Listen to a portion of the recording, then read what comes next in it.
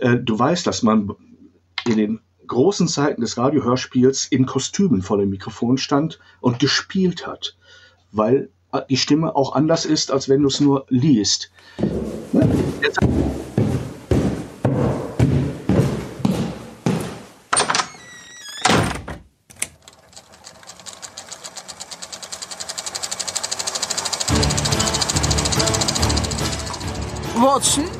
wenn man alle logischen Lösungen eines Problems eliminiert, ist die unlogische, obwohl unmöglich, unweigerlich eine neue Folge Siedecast.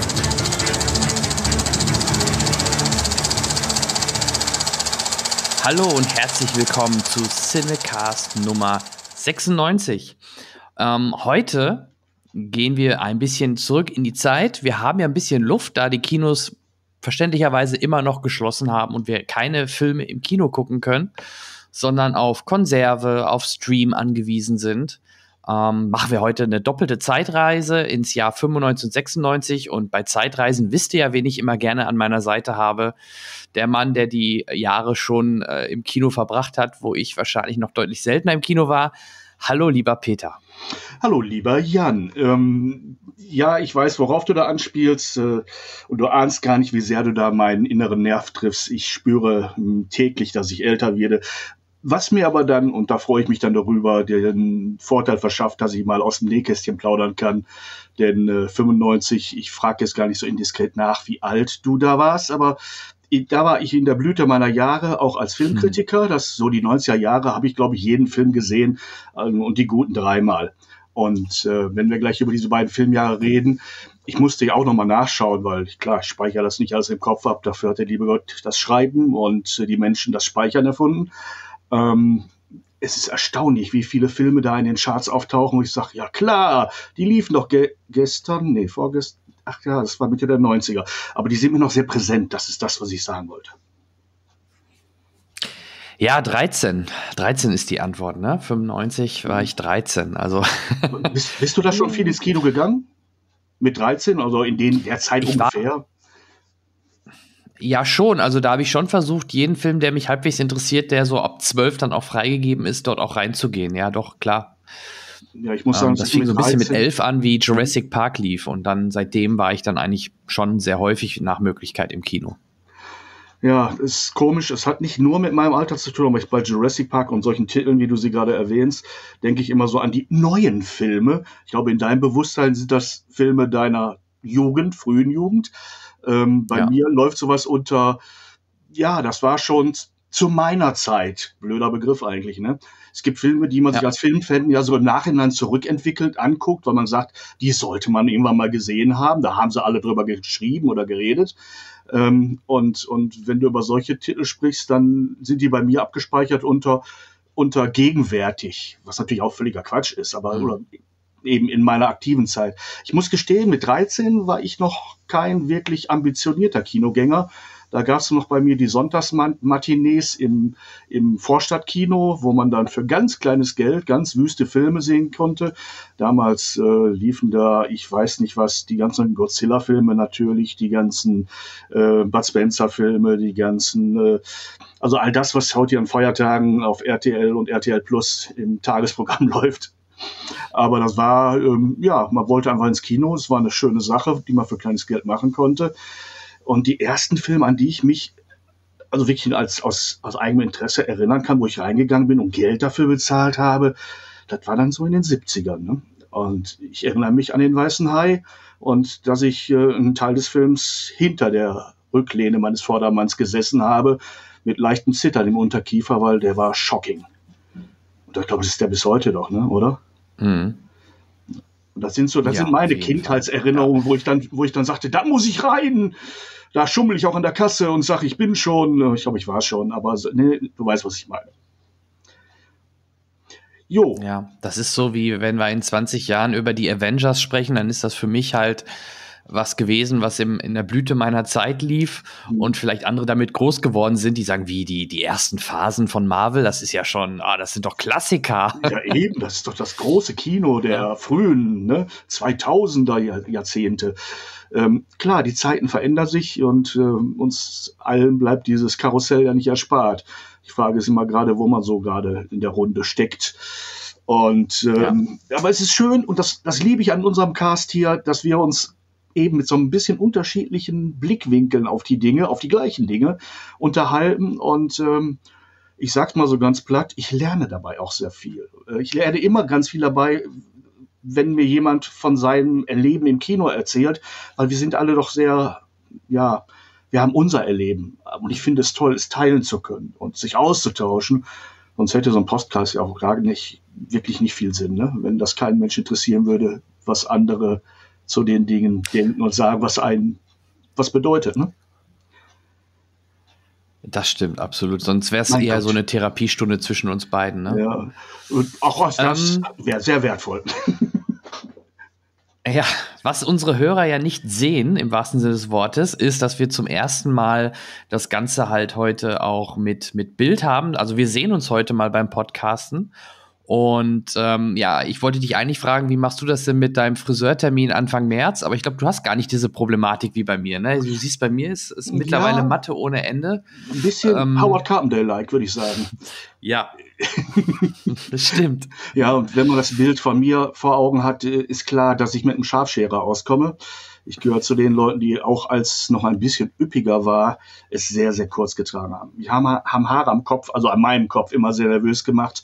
Bei anderen habe ich immer gern gewuschelt. Ja, ja. Ich war eigentlich auch immer eher Kurzträger, aber jetzt die, über das letzte Jahr habe ich sie jetzt mal länger wachsen lassen und jetzt müsste man doch mal wieder ein bisschen schneiden und ja, aber im März geht es ja wieder los mit den Friseuren. Ne? Na, vielleicht habe ich mir auch deshalb den Beruf im Dunkeln ausgesucht. vielleicht. Genau, ja, das könnte man auch damals, äh, wie ich als Filmvorführer unterwegs war, ja auch sagen. Da war ich auch immer, sah ich auch selten das Sonnenlicht. Ja, und warst immer sehr viel alleine, aber hast alles gesehen und immer ganz frisch. Das, das stimmt, das stimmt. Ich habe die Filmvorführer immer beneidet. Also, hm, bevor ich selber das Privileg hatte, viele Sachen sehr früh sehen zu können und dann in einer guten Qualität, weil die Filme damals ja auch abnutzten. Ne? Wenn die dann so mit zeitlicher Verzögerung oder nach ein paar Wochen Spielzeit irgendwann mal auf Celluloid vorgeführt wurden, waren die nicht immer in Top-Qualität. Heute ist das ja dank digital eigentlich nicht mehr so, ne? Ja, absolut. Apropos Celluloid, ich weiß nicht, hast du schon mitbekommen, dass es den Snyder, äh, Snyder Cut im März geben wird? Ja, wir von äh, von Justice League natürlich ne? nochmal. Ach so, ja, ja, ich weiß, wovon genau. du redest. ähm, ich bin mir nicht sicher, weil ich mir auch über die Qualität eines äh, Zack Snyders nicht ganz sicher bin, wie gut er wirklich als Regisseur ist. Vielleicht sollte ich mir den Film aus diesem Grund nochmal ansehen. Der Film, von dem wir reden, hat mir im Kino, sagen wir mal ganz dezent, nicht wirklich sehr gut gefallen. Überzeugt hat er mich nicht. Und viele andere haben auch geweint. Ähm, und ich bin nicht der Meinung, also bisher, dass Zack Snyder äh, so ein Genie ist, ähm, dass er sozusagen durch die Fremd, den Fremdschnitt verstümmelt wurde. Ich glaube, dass der, dass er sich selber vielleicht auch ein bisschen überschätzt. Ich will aber gerne die Probe machen und wenn der Film in dem, in dem Cut rauskommt, ihn mir ansehen ähm, und bin auch gerne bereit, mein Urteil zu revidieren. Aber ich habe da nicht viel Hoffnung. Ich habe bisher von ihm nichts gesehen, wo ich sagen würde, wow, der Mann hat's drauf, den kann kein anderer ersetzen oder sich in seiner Art zu denken so gut rein, ähm, reinversetzen, dass er für ihn schneiden kann, ohne es kaputt zu machen. Und diese Attitüde, die er damit auch so vorgibt, ich bringe jetzt meinen Cut raus und dann seht ihr, wie toll ich wirklich bin. Das ist so, als wenn ein Fußballer allein am Platz geht und sagt, Leute, jetzt zeige ich euch mal, eigentlich hätte ich allein das Spiel gewinnen müssen. Ähm, ist mir nicht nur sympathisch, diese Einstellung. Selbstbewusst ja, aber nicht sympathisch. Ja, also wird ja ein Vier-Stunden-Cut äh, mit ein paar Nachdrehs, auch mit Jared Leto als Joker, den er da noch reinbringt. Ähm, ich finde halt das Besondere an der Geschichte ist, dass er das Ganze im 4 zu 3 Format rausbringt. Ne? Also in diesem ähm, IMAX-Format. Aber im, im, er, es mag ja sein, dass das dann für ein Kino, gerade in einem IMAX, absolut stimmig und Sinn macht. Nur wenn man den Film sogar gar nicht in die Kinos bringt, sondern wirklich nur über einen Streaming-Anbieter, dann finde ich das Format grenzwertig. Da hätte man auch eine Mischlösung finden können, so, so ein äh, klassisch 16 zu 9, wie Josh Whedon auch im Avengers gemacht hat, oder wie er ja auch im Justice League Cut, den er dann, oder in den Justice League, wie er ins Kino kam, gemacht hat. Da hat er ja auch in 16 zu 9 statt CinemaScope gemacht, weil die Szenen, die er genommen hat von, von, dem, von, von, äh, von Snyder, hatten ja auch schon immer die IMAX, äh, das IMAX-Format. Das, das finde ich ein bisschen, wird ein bisschen komisch rüberkommen. Ich glaube, viele denken, sie hätten ihren Fernseher falsch eingestellt, wenn der, wenn der dann über die Bildfläche läuft. Aber ansonsten bin ich einfach mal gespannt. Snyder steht halt für mich immer sehr viel über für Style over Substance, also extrem ähm, polierte Szenen, extrem schon geil dargestellt, Zeitlupen-Szenen, also fast so ein bisschen Michael Bay, nur nicht ganz so krass mit Explosionen. Das ist für mich so ein bisschen Zack Snyder und ähm, ja, auch wie du schon sagtest, ich lasse mich im März auch überraschen. Er soll ja auch in Deutschland weltweit gleichzeitig released werden. Es wurde noch nicht verkündet, wo. Wir gehen aber, oder man geht ja davon aus, äh, dass, der, dass das ein Deal ist, der dann auch Richtung Sky wieder geht, dass Sky das zeigt. Oder alternativ vielleicht on demand äh, über Amazon. Aber lassen wir uns mal überraschen. Mhm. Ja, apropos Style over Substance, äh, einmal stelle ich das generell in Frage, weil Style ohne Substance oder mit zu wenig Substance, Substanz, lass uns mal lieber, lieber wieder Deutsch reden, ähm, fällt mir sehr schnell als, als nicht wirklich angenehm auf. Das ist eine körperliche Reaktion bei mir.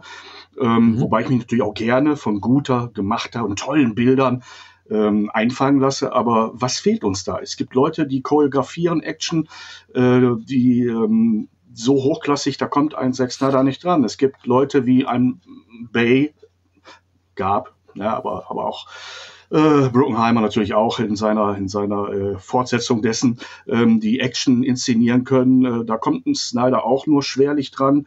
Äh, ähm, wir haben Leute, die ähm, ähm, dramaturgisch Bilder aufbauen können oder choreografieren können.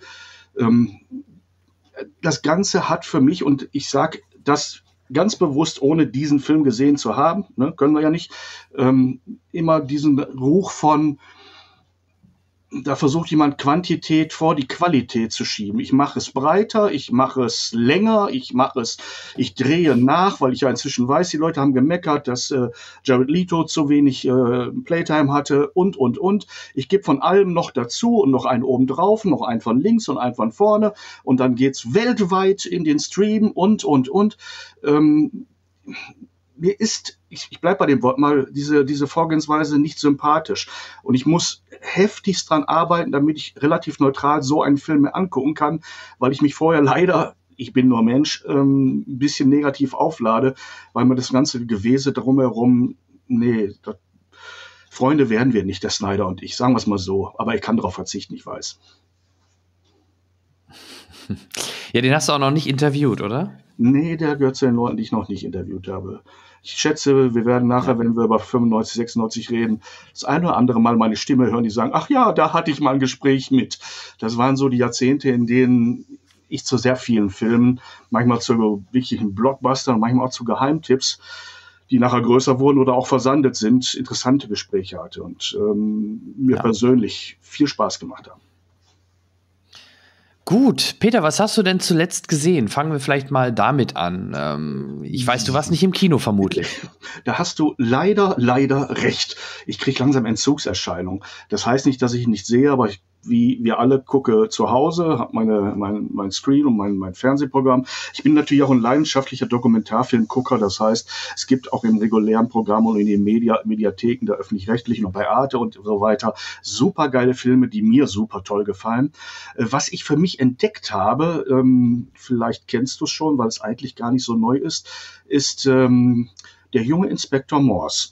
Ein Titel, der mich anfangs sehr abgeschreckt hat, weil er für mich zu sehr nicht nach ernsthafter, guter Unterhaltung klang, bis ich mal so ein bisschen recherchiert habe. Ich weiß nicht, wie ich da hingekommen bin, dass das im Grunde genommen eine Prequel-Serie ist äh, zu einer Nebenfigur aus Lewis, ähm, einer der besten Krimiserien weltweit, sagt man so. Wenn man auch auf englische Produktionen steht, dann erst recht. Und ähm, ich habe mir dann mal ein paar Folgen davon angesehen und gemerkt, wie wahnsinnig gut die geschrieben sind, wie toll, weil das um die Figur in ihren jungen Berufsjahren als Inspektor geht, in den 60er Jahren das Setting gebaut ist, die, die ähm, von, von der Garderobe über die Fahrzeuge, über selbst die Art zu filmen, hat 60er Jahresteil. Die Figuren sind liebevoll ausgearbeitet und was eine Serie ja nun mal wirklich gut macht, und das gilt eigentlich für alle Serien, ist, wenn jede Episode für sich steht, vielleicht sogar den ein oder anderen Twist noch bringt, so im letzten Drittel, aber in der Kontinuität der Gesamtheit der einzelnen Staffeln, die sind, glaube ich, mittlerweile bei der siebten, sechs sind in Deutschland veröffentlicht bisher, ähm, ein zusammenhängende Geschichte, eine Entwicklung von mehreren Charakteren, Verbindungen untereinander, die ähm, nicht immer deutlich sind, wer hat warum oder ist er mir wohlgesonnen oder vielleicht doch eine linke Ratte oder komme ich an diesen Menschen näher ran und auch Liebesgeschichten, die sich so anbahnen und wieder, wieder abbiegen. Also so vielfältig in, im Kleinen, im Episodischen, wie in dem, was die Staffeln angeht, bis das, was über die Staffeln hinausgeht. Und dadurch entstehen Gänsehautmomente, und ich sage als krassestes Beispiel, ich habe in meinem Leben vorher noch nicht geheult, weil jemand das Wort Frühstücksfleisch gesagt hat. Und das meine ich gar nicht ironisch. Es gab eine Szene, wo es mich nur durch dieses Wort, es hat mich gesemmelt. Ich habe ich hab geheult. Ich könnte es dir jetzt lang und breit erklären und äh, ich glaube, jeder, der mal äh, intensiv eine Serie geguckt hat, weiß, es gibt so Momente, die kann man, weil die sich aufbauen, sehr lange aufbauen und einen Sinn ergeben. Und, und die Kunst des Schreibens liegt da drin, wirklich so einen völlig profanen Moment, wie das jemand äh, Frühstücksfleisch sagt. Und du weißt, was das bedeutet in dem Zusammenhang. Ähm, dann hat dieser Film eine unglaublich tolle Film, äh, diese Serie eine gute Filmmusik, die übrigens äh, immer mit dem Morsezeichen für M-O-R-S-E startet. Und daraus wird ein Rhythmus, daraus wird eine Melodie und dann kommt ein Mollakkord, der sich aufbaut und dann läuft ne, der Vor- oder Abspann. Gänsehaut. Toll gemacht, super gemacht. Tolle Darsteller, wirklich großartige Theater- und Fernsehdarsteller, ähm, vorwiegend oder ausnahmslos aus England. Für mich äh, eine absolute Entdeckung und ich könnte mich vorne und hinten links und rechts ohrfeigen, dass ich da erst jetzt aufgekommen bin, weil ich, weil ich vor diesem Titel zurückgeschreckt bin. Im Original heißt das Ding Endeavor ähm, was so viel wie bemühen heißt, glaube ich. Äh, und aber der Vorname dieser Figur ist, äh, die er, die er laufend verschweigt, sich nur mit Nachnamen anreden lässt oder sehr, na, nicht glücklich darüber ist, so einen merkwürdigen Vornamen zu haben. Das Ganze spielt in Oxford, wo er als Student gelebt hat, aber sich aus dieser, aus dieser Gesellschaft zurückgezogen hat, weil er sich da nicht wohlgefühlt hat. Er ist als Polizist, als Quereinsteiger ähm, in den Polizeidienst gekommen, wo er auch beäugt wird als Intellektueller. Äh, also da auch so gegen Widerstände ankämpfen muss, Förderer findet, Leute findet, die ihm von hinten ins Knie schießen wollen und ähm, und äh, ganz merkwürdige Frauenbeziehungen hat. Äh, ja, ja, aber es gibt auch viel mit dem man sich identifizieren könnte, wenn man so zwischen verschiedenen Welten schwebt, was er tut. Und er löst seine Fälle, also wenn, er löst sie nicht alleine, natürlich nicht, manchmal gegen die Widerstände seiner Kollegen, manchmal mit seinen Kollegen. Er wird beäugt für seine extrem intellektuellen Ansätze, mit denen er da rangeht. Ähm, und manchmal sagen sie auch, jetzt reizt mal langsam, du willst aus allem irgendwie so eine Klugscheißer-Nummer machen. Und irgendwie hat er dann zum Schluss recht, manchmal aber auch nicht. Aber auch manchmal kommt es anders, als er es erwartet hat. Aber es ist für den Zuschauer immer überraschend. Und es ist, ich habe noch keine Folge erlebt, bei der ich am Ende gesagt habe, oh, das habe ich alles genauso kommen sehen. Gibt's da nicht. Also mein heißer Tipp, trotz dieses merkwürdigen mhm. Titels, Endeavor, der junge Inspektor Morse, läuft im Augenblick wunderbar äh, werbefrei auf ZDF Neo. Sehr cool. Ja, ich habe gerade mal geschaut, das ist äh, typisch englische Serie, ne? Mit einer Staffel. Äh, klingt so viel, die haben sieben Staffeln, aber mhm. eine Staffel hat äh, im Schnitt zwischen vier, ja. drei, vier oder maximal sechs Folgen, wenn ich das richtig Zu gesehen habe.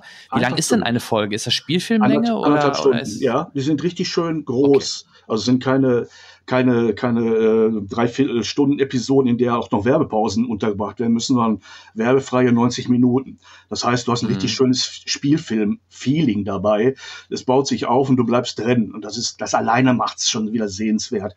Und die Autos, meine Zeiten, die, ach, am Anfang, äh, als das in den frühen 60ern beginnt, die arbeiten sich wirklich jahreweise durch seine frühe Karriere, fahren die als Dienstwagen ein Jaguar MK2. Mein Gott, ist das schön, das Teil. Es gibt dann in der späteren Staffel so eine Szene, wo dieses Ding eingemottet unter einer Plane steht, weil sie ein neues Fahrzeug haben. Und es ist witzig, wirklich. Und sie kommen der Lösung des Falls nicht nahe, bis sie sich überlegen, einfach nur aus nostalgischen Gründen diesen alten Wagen nochmal fit zu machen, setzen sich da rein und sind plötzlich wieder auf der richtigen Spur. Dieser Film ist voller, voller, äh, ja, metaphorischer Dinge auch. Da passieren so viele Sachen, die, ähm, also es ist einfach hervorragendes Storywriting. Da, ich habe versucht, meiner Frau zu erklären, warum ich stundenlang äh, ne, mir das angucke.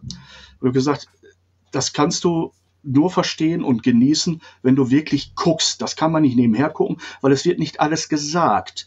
Du musst zwischen Worten und Bildern die Brücken bauen, weil viele Sachen einfach völlig tonlos dir begegnen und, und dir erklären, oh Mann, da ist noch eine Spur, die wir übersehen haben, oder hier geht's weiter, oder die ist, das ist die Reaktion von jemandem auf etwas, was passiert oder gesagt wird. Und das gibt erst neue Handlungsstränge. Äh, und wenn du das nur so nebenbei mit einem Auge oder wie meine Frau gerne im Winter mal beim Stricken ne, oder so nebenbei guckst, äh, dann ähm, geht's an dir vorbei. Es ist kein reines Hörspiel und es ist auch kein Stummfilm. Es ist die perfekte Mischung aus diesen beiden Ebenen, die sich ergänzen und nicht überlappen. Denn für mich ist ähm, eine der Todsünden im Film Dinge zu sagen, die man sieht oder Dinge zu zeigen, die schon längst klar sind. Ne? Also man muss es nicht doppelt machen. Erfordert aber, dass man konzentriert bei der mhm. Sache ist. Klingt spannend. Ähm, wenn wir in dem Genre sind, ich habe da auch was geschaut, was mir empfohlen worden ist. Ähm, vielleicht hast du es auch gesehen. Ähm, Lupin oder Lupin oder wie auch immer man das gerne aussprechen ich möchte. Schon mal gehört? Hinaus, ich, der Name sagt mir was. Die Serie ist eine Serie? Nee, wüsste ich nicht. Ja, eine Serie bei Netflix, französische Serie. Ah, Arsène Lupin. Geht es um Arsène Lupin? Ja, Arsène, genau. Legendärer ähm, ja, legendärer Dieb, ne? Und es gab da schon Gentleman. Gentleman Dieb, ja, genau. gut. Genau. Unser Genre. Ähm, genau, äh, wobei, ich, ich erkläre es ein bisschen. Also die Serie basiert halt auf den Abenteuern des Meisterdiebs Arsène Lupin. Ähm, Omar Sy spielt die Hauptrolle, den wir alle aus ziemlich beste Freunde kennen. Er spielt dort den Assong Diop, also nicht den Meisterdieb, sondern er hat sich als Kind, hat immer alle Bücher gelesen und er macht quasi aber dann die Sachen, die man auch aus den Büchern kennt. Also Kenner des Buches erkennen diese Fälle oder die, die Sachen wieder. Copycat. Ja, genau, so ein bisschen, richtig. Und ähm, aber im Grunde gibt es da doch eine Hintergrundstory, dass ähm, von Omar Sy der Vater ähm, umgebracht worden ist, oder nee, er hat sich selber umgebracht, er hat sich erhängt, weil ihm ein Dieb eines äh, Colliette ähm, ähm, untergeschoben worden ist. Und äh, er sucht jetzt halt für, für, Gerechtigkeit und will die Leute auf ähm, ja, ausfindig machen, die dafür zuständig waren, dass der Papa quasi beschuldigt worden ist und sich dann halt auch selber umgebracht hat. So mal ganz grob. Ähm, dadurch hast du dauernd natürlich viele diese typischen ähm, Momente, wo irgendwas äh, passiert, was er genau so geplant hat und ne, also so typisch, ähm, was einige auch sogar kritisieren, dass es zu, äh, zu gestellt und unwahrscheinlich wäre, aber es macht einfach Spaß, äh, gerade Omar Sy da bei der Rolle, in der Rolle zu sehen, weil er spielt das wirklich super und super sympathisch. Ähm, es gibt aktuell eine Staffel. Äh, Netflix hat das aber in zwei Teile geteilt. Ähm, die ersten fünf Folgen gibt es bereits ähm, bei Netflix und die nächsten fünf Folgen sollen im Sommer folgen. Ähm, also wirklich auch eine Empfehlung. Ähm, es macht wirklich sehr viel Spaß, äh, das Ganze zu sehen. Ist sehr hochwertig produziert, ist sogar die erste französische Serie, die in die Top 10 der Netflix-Charts in den Staaten eingezogen ist. Und ähm, ja, also sollte man sich anschauen, wenn man Netflix-Abonnent ist, äh, sollte man auf jeden Fall mal in Lupin reinschauen. Okay. Und wenn man, wenn man die alten Sachen kennt, so, das höre ich so ein bisschen bei dir raus, äh, dann erst recht wahrscheinlich. Dann macht es wahrscheinlich doppelt Spaß. Ich habe keine Erinnerung mehr an die alten Sachen. Ich weiß, es gab da mal ein paar Filme, äh, typisch französische Filme, ich glaube sogar in Schwarz-Weiß, wobei das Thema mhm. in Frankreich ein großes ist. Also ist ja. literarisch begründet schon. Äh, und ähm, ja, das macht Appetit, was du erzählt hast. Äh, ich mag so Gentleman Haste äh, und äh, dieses Genre, wo es um Coups geht, die ähm, ne, mal auf der Kippe stehen und dann mit ja. viel Cleverness irgendwie dann doch durchgezogen werden. So stelle ich es mir jetzt halt mal vor. So genau, in die Richtung geht's. Deswegen denke ich, dass dir das wirklich gefallen wird. Ja, schau mal rein. Ist notiert. Gut, ja. Hast du noch was? Filmserie? ich müsste schwer nachdenken. Wie gesagt, ich krame mich gerade so durch meine, meine Festplatten mit allen möglichen alten Sachen und aufgezeichneten Dingen. Ähm, und das meiste packe ich gerade auch ein, weil ich mitten im Umzug stecke. Insofern, ähm, oh. so mhm. wahnsinnig häufig schaffe ich es gar nicht zu sehen. Aber ähm, wenn man gute Tipps bekommt, so wie gerade, befürchte ich, dass die nächsten Kartons jemand anders packen muss. Genau, genau. Ja, ich hätte sonst noch einen Film. Ja. Ich habe mir den Film, den hast du vielleicht sogar gesehen, ich weiß gar nicht, ob der mal in der PV schon lief. Der ist jetzt nicht ganz alt, aber auch nicht ganz neu. Der Film Edison. Den hätte ich gerne gesehen. Äh, ist doch mit äh, Benedikt? Benedikt ja, Cumberbatch, genau. Richtig. richtig. Ähm, ein Leben voller Licht. Ja. Äh, ich habe da ein bisschen was drüber gelesen und die einen schreiben ganz Katastrophales drüber und die anderen waren durchaus angetan. Also ich mhm bin gespannt, was du sagst. Genau, gerne. Es gibt vielleicht auch, ich hole noch mal aus, es gibt neben Edison ein Leben voller Licht. Lustigerweise fast gleichzeitig wurde auch ein weiterer Film released, nämlich Tesla. Und äh, der Film Tesla ja, setzt den Fokus auf Tesla, der aber auch natürlich in Edison auftaucht. Und ich meine, ich glaube auch andersrum. Ich glaube auch, dass Edison in Tesla auftauchen wird. Macht auch Sinn. Ähm, erstmal zum Cast: Benedict Cumberbatch, Tom Holland, unser Spider-Man, ähm, und Michael Shannon vielleicht zu erwähnen, die, die dort mitspielen.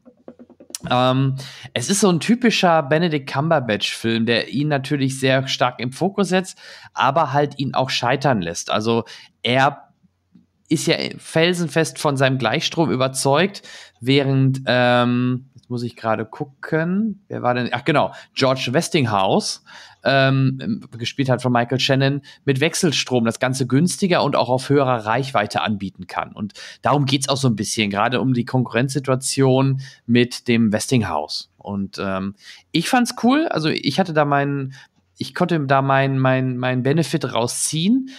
Ähm, es ist jetzt kein Beautiful Mind oder auch kein, wie hieß das mit der, mit der Zweite Weltkriegs-Enigma-Maschine?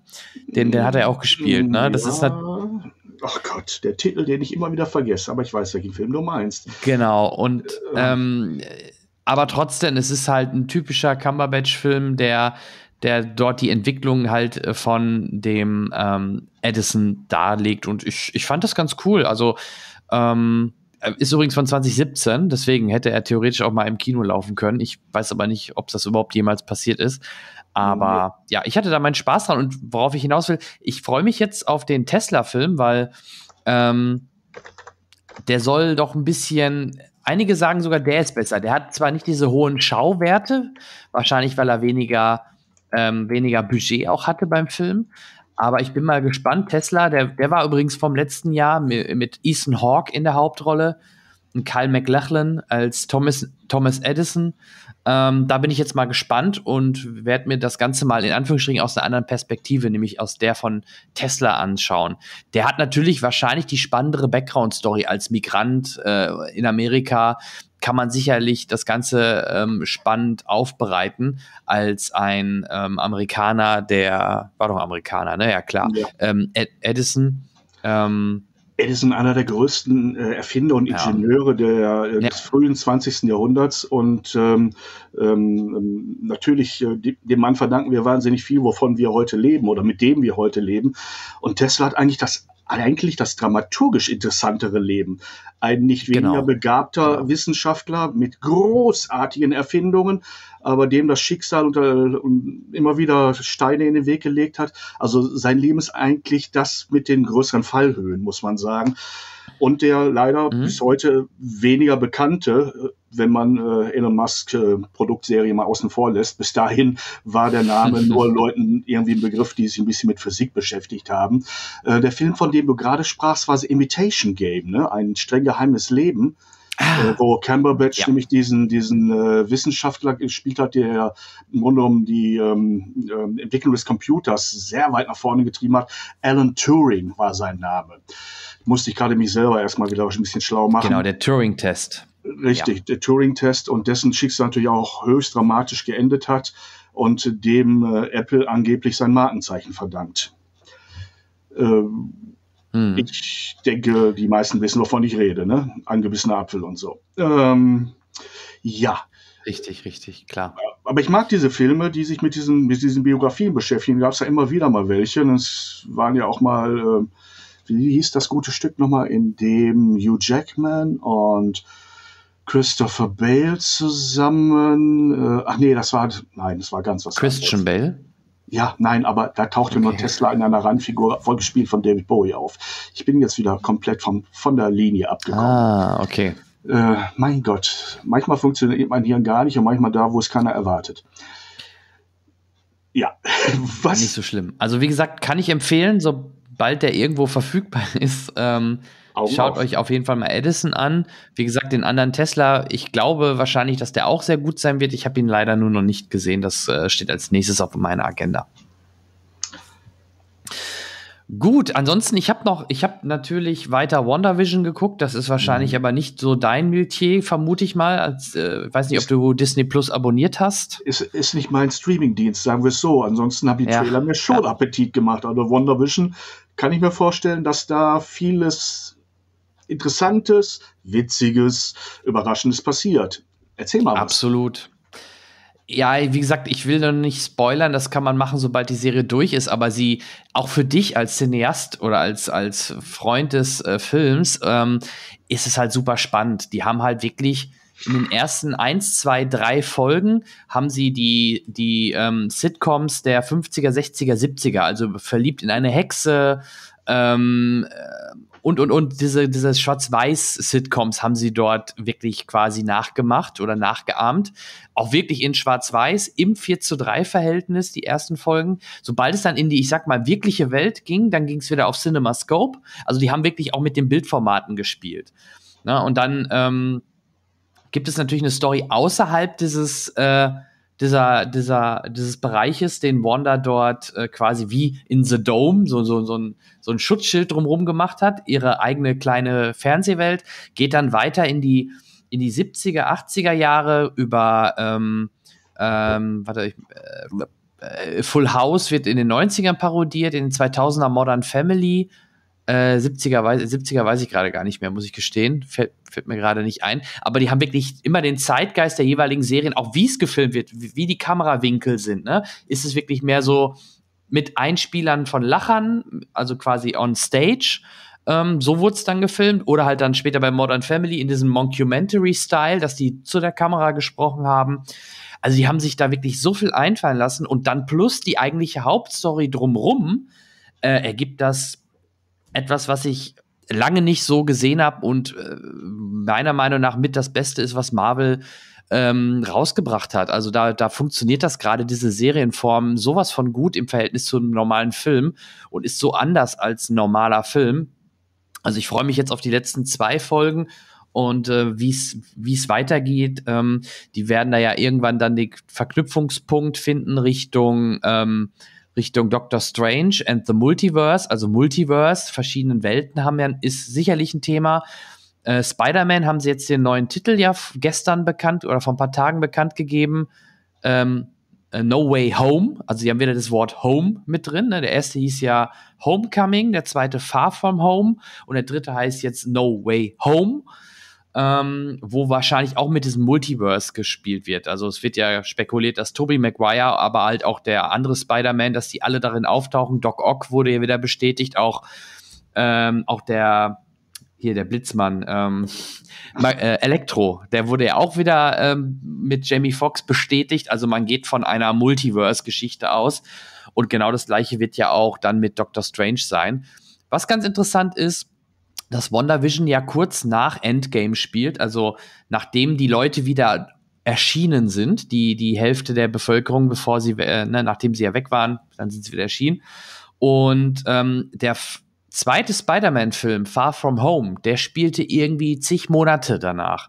Und ähm, jetzt kann man sich vielleicht erklären, warum die Menschen sich in diesem Film nicht gewundert haben, dass dort jemand aus einer anderen Dimension kam. Ein anderer, vielleicht erinnerst du dich, gespielt von, von dem ähm, Gillenhall. Ähm, Jake den, den Antagonisten quasi, diesen Jake. Mysterio. Mhm. Jake Gyllenhaal, genau. Der sagte ja, ja, ich komme aus einer anderen, aus einer Parallelwelt und da bin ich Superheld und ach, hier ist ja alles ganz anders. So kam, so hat er sich ja vorgestellt.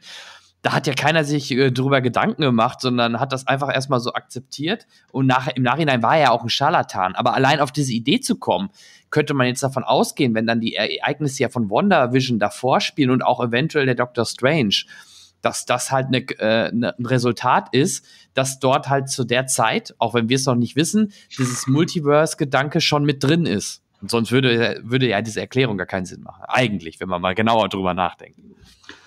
Ich bin mir manchmal nicht Just ganz sicher. Just a random fact.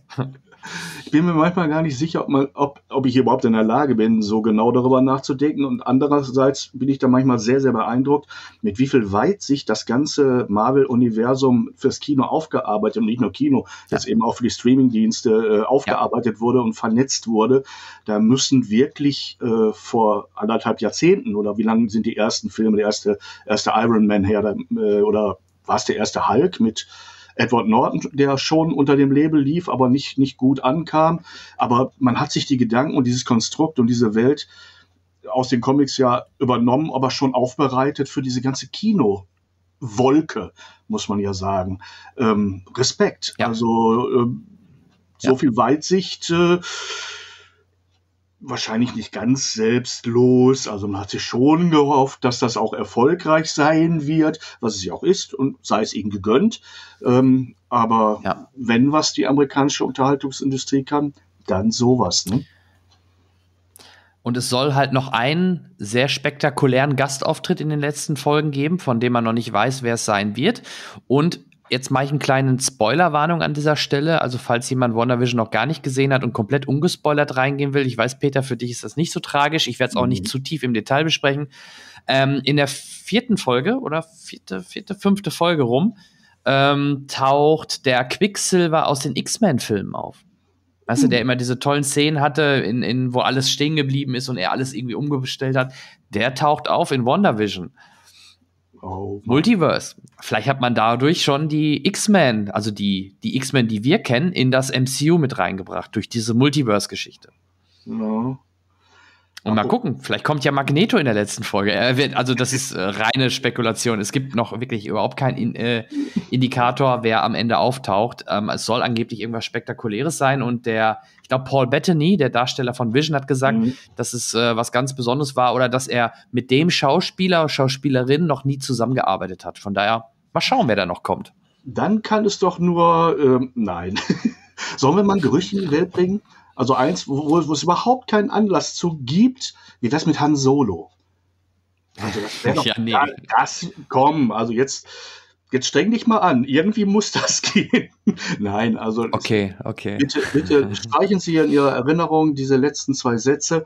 Ähm, es gibt keinen Anlass dafür, sie zu sagen. Es war einfach die pure Spekulation und ein bisschen Gehässigkeit, dass irgendjemand jetzt ernsthaft darüber nachdenkt. Es kann nicht sein ist alles unter der Disney-Fahne, also denkbar wäre es. Und vielleicht auch, dann, das ist wahrscheinlich nicht damals geplant gewesen, aber ich finde das schön, dass sie sie wieder reingebracht haben.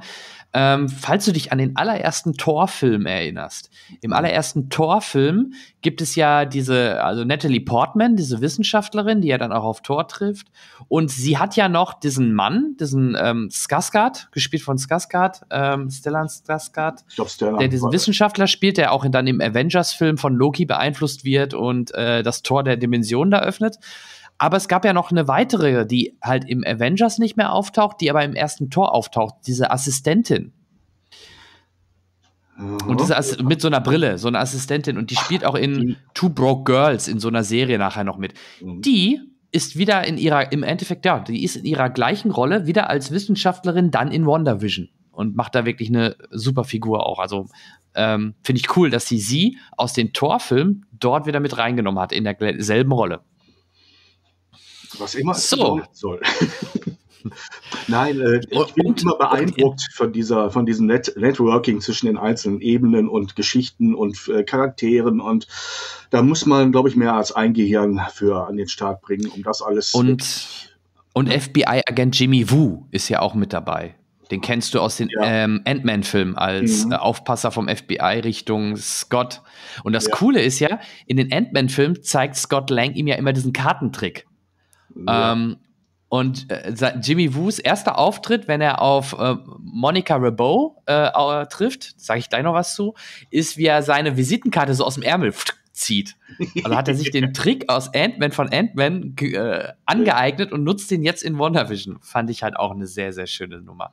Und ja, Monica Rabeau sollte man vielleicht noch mal kurz erwähnen, falls du Captain Marvel gesehen hast. Mm, ja, aber das ist sehr blass in Erinnerung.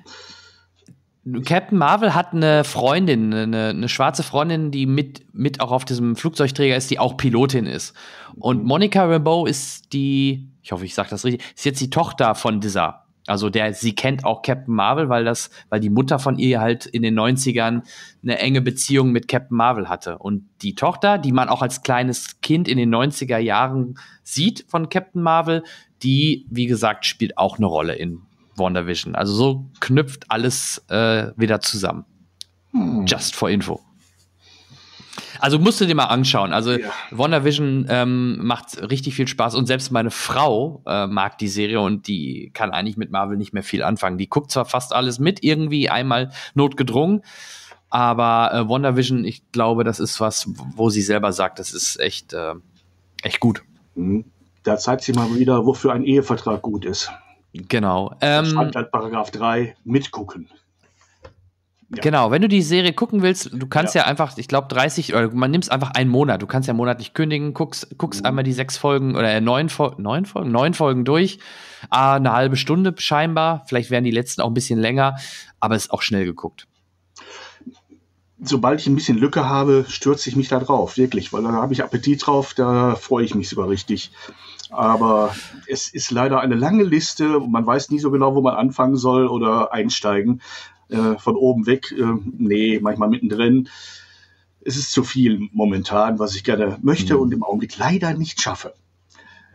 Was? Deswegen würde ich sagen, gehen wir ja, in die Vergangenheit, oder? Eine Reise in die Vergangenheit. Uh. Weil ja. da ist der Vorteil, du hast die Filme ja noch alle im FF, im Langzeitgedächtnis. Ähm, gerade 1995, da sind, ja, da war ich, da kann ich mich sogar an einen Film hier erinnern, wo ich definitiv auch im Kino war. Von daher, und ich war ja in mehreren, glaube ich. Ich würde sagen, auch da machen wir wieder, fangen wir so ab Platz 20 an, außer du hast irgendwas dort darunter, was du gerne erwähnen willst. Ansonsten würde ich vorschlagen, ähm, wir starten mit Platz 20. Ich könnte, könnte einfach zwei, drei Titel kurz darunter erwähnen, die für mich interessant Gerne. sind.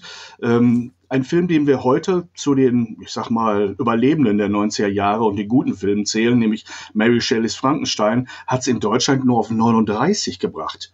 Kenneth Brenner, ne, Regie und Titelrolle mhm. und De Niro als das Monster, äh, ist mir auch in Erinnerung geblieben, weil ich das Vergnügen hatte, Brenner zu interviewen zu diesem Film. Und äh, es war schon beeindruckend. Der Mann ist wirklich ein Brain. Im Augenblick sitzt er ja an der zweiten äh, Hercule Poirot-Verfilmung, Tod auf dem Nil. Und auf die, die ist aber fertig, ne? Ich glaube, die warten ja. ja. nur darauf, dass man ihn wieder releasen kann. Der sollte ja Weihnachten kommen, ne? Äh, ja. Ähm, ich denke, der wird bald kommen, wenn die Kinos aufmachen und dann wird das Geschacher um die Termine losgehen. Denn ähm, die können ja nicht alle gleichzeitig starten, die jetzt auf Halle liegen. Aber wie gesagt, ein Film, den ich bis heute immer noch zu den wirklich tollen zähle. Ähm, ein anderer Film, der auch zu den Klassikern zählt, auch wenn die Fortsetzungen nicht alle besser geworden sind, Michael Bays Harte Jungs, Bad Boys. Nur auf 30. 30, ne? Also, ähm, wo man heute sagen würde, das war noch ein Top-Film des Jahres ähm, bei Batman Forever mhm. auf 27 von Joel Schumacher, äh, Gott hab ihn selig, glaube ich, letztes Jahr ist er verstorben, äh, war ja in, mhm. der, in dem Franchise-Part ähm, einer der weniger gemochten Filme. Ähm, ich glaube, es war George Clooney, der mit seinem Nippelkostüm viel Aufsehen erregt hat, aber ansonsten war da, ja, es war halt Schumacher, sehr bunt, sehr poppig. Ähm, ich taste mich immer kurz an die 21 nochmal ran, den ich auch damals, ich weiß nicht, ihn gefunden habe, nämlich der erste Ritter. Das war so die Artus-Sage auf, auf amerikanisch mit Richard Gere, den ich so gar nicht in Ritterfilmen verortet hatte, mit einem kleinen Part für Sean Connery, ähm, der für mich so in die Phase gehört, als er anfing, diese Vaterrollen zu übernehmen. Manchmal als Papa von Indy Jones, mhm. manchmal als Richard Löwenherz in, in Robin Hood und, und, und. Und bekam dann wirklich Szenenapplaus, ähm, weil der wirklich einfach großartig war. Dann darf ich jetzt noch vielleicht auf 20 einsteigen. Das waren die Brücken am Fluss, ein Clint Eastwood-Film, wo ich mich bis heute daran erinnere, dass einer meiner allerbesten Freunde, den ich äh, in diesen Film gelotst habe, mir danach bald die Freundschaft gekündigt hatte, weil das ja angeblich ein Eastwood-Film sein sollte. Und für war zu der Zeit Eastwood alles andere als ein sehr sentimentaler Film mit Meryl Streep, ähm, und ein wunderbarer Film, aber ich glaube, bis heute kriege ich da Sprüche zu hören, obwohl er selber die Erfahrung gemacht hat, dass Eastwood mehr ist als der schlitzäugige Rächer, der nicht viel erzählt. Ne? Vor allem als Regisseur hatte er hier äh, mhm. gezeigt, was er drauf hat. Ja, möchtest du übernehmen? Oder wo, wo Gerne. Ich würde auch noch mal kurz, genau, Nö, das passt schon. Das ist ein guter Einstieg. Ich wollte nur gerade, also mir ist auch, wie du schon gerade sagtest, aufgefallen, dass gerade zwischen Platz 20 und 30 doch einige Filme sind, die ich deutlich höher erwartet hätte. Selbst ein Rennschwein Rudi Rüssel weiß ich, dass ich da damals mit Iris Berben im Kino war, ein Kinderfilm. Da hätte ich auch gedacht, dass er auf, nicht auf Platz 38 ist, sondern einfach, weil es auch ein Kinderfilm ist, deutlich erfolgreicher ist. Genauso Ace Ventura Teil 2 mhm. äh, auf Platz nur 29 hat mich auch überrascht. Ähm, das, oder halt, ja, Batman Forever ist jetzt nicht vielleicht, ja, aber der ist auch ähm, doch sehr abgeschmiert, wenn man bedenkt, dass äh, Batman heutzutage deutlich weiter vorne gelandet wäre. Ja, auch, auch ein Film, der bis heute in, im Munde, in aller Munde ist es äh, Judge Dredd mit Stallone, der auf 31 ja. gelandet ist. Er gilt nicht als gelungen, wahrlich nicht. Aber ja. äh, ich meine, alleine weil es ein Stallone-Film in der Blüte seiner Karriere war, hätte man vielleicht mehr als Platz 31 erwartet. Ne? Ja, absolut. Ähm, ich kann sicherlich gleich was zu Platz 17, 18 sagen. Vielleicht äh, könntest du noch Platz 19 übernehmen, falls ja, du ihn gesehen hast, weil die, da muss ich, da muss ich passen. Ist das ein deutscher Film? Das ist ein deutscher Film, einer der wenigen deutschen Filme in der Top 20. Das waren die dünnen Jahre für deutsche Filme, selbst in Deutschland. Hm. Stadtgespräch von Rainer Kaufmann. Ähm, lass mich überlegen. Katja Riemann sehe ich gerade. Ich habe gerade mal ein bisschen recherchiert. Katja Riemann müsste dabei ja. gewesen sein. Ich kann mich an die Handlung wirklich nicht erinnern, denn äh, meistens waren das immer Buchvorlagen, die so auch nur in den deutschen äh, Büchercharts äh, eine kleinere oder interessante Rolle gespielt haben. Aber das waren Filme manchmal, wo, wo man nicht wusste, warum wollen die Deutschen sich nicht mal zur reinen Unterhaltung bekennen. Es muss immer so ein bisschen die üblichen äh, Beziehungsproblemchen sein, die da aufgedröselt werden. Also es hat äh, keinen bleibenden Eindruck bei mir hinterlassen, außer dass ich noch weiß, dass der Schriftzug in Rot war. Auf Platz 18 Santa ja, Claus. Ähm, äh, Alan, ne? Ähm, das ist Tim ja für genau, also Santa Claus, Eine, genau. Also bei Santa Claus, vielleicht äh, hole ich da mal kurz aus. Ja. Es gibt ja auch noch einen Santa Claus-Film, der deutlich älter ist. Den hat zum Beispiel meine Frau immer so in Erinnerung in ihrer Kindheit, dass sie damals immer so einen Santa Claus-Film mit New York und was weiß ich gesehen hat. Aber das muss noch ein deutlich älterer Film gewesen sein. Und ich bin dann eher wirklich auch hier mit, äh, mit dem Film Santa Claus eine schöne Bescherung naja, groß geworden, aber das war für, wenn jemand sagt Santa Claus, dann denke ich natürlich an den Tim Allen-Film, wo Tim mhm. Allen halt den Weihnachtsmann spielt, nachdem er ihn aus Versehen ähm, ja, über die Schippe springen lassen hat, indem er halt vom Dach gestürzt ist und er jetzt den Job des äh, Weihnachtsmann übernehmen muss. Und es ist auch spannend zu sehen, wie er langsam Bauch kriegt, wie er langsam weiß wird und ja, und er wird dann halt zum Weihnachtsmann, was auch noch mal, ich glaube, zwei, drei Fortsetzungen ähm, mit sich gezogen hat, verständlicherweise ähm, durch den Erfolg des erstens. Aber ja, ich glaube, die kamen auch nicht mehr an den ersten Film ran. Aber immer noch ein schöner Film. Disney, ich vermute dann auch Disney Plus eine Option, den sich noch mal an Weihnachten oder zur Weihnachtszeit hin äh, noch mal anzuschauen. Mhm. Hast du ihn im Kino gesehen? Hast du Tim Allen getroffen? Nee, Tim Allen habe ich leider nicht getroffen. Ich befürchte, er wäre auch nicht vernehmungsfähig gewesen in diesen Zeiten. Man hat ja im Nachhinein herausgefunden, dass der Mann öfter mal die Nase voll hatte. Ähm, aber äh, klassisch, klassische Buena Vista, sprich äh, Disney-Produktion. Ne? Ähm, ja. Und äh, ne, Familienentertainment ohne Blut, ohne Schweiß, ohne Tränen. Einfach nett, einfach familientauglich. Kann man machen und lief wahrscheinlich, lass mich raten, zur Weihnachtszeit. Einsprung auf die 17. Was fällt dir dazu ein? Star Trek Treffen ja. der Generationen.